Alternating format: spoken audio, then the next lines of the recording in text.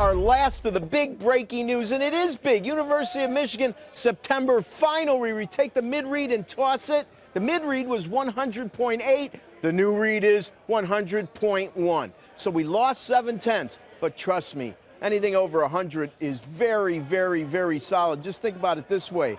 Uh, the highest number in the last 20 years, is which my database, actually 21 years, is uh, 103.8. That's from 04. Uh, this year, we had 101.4 in March. That was the highest level going to that January of 04.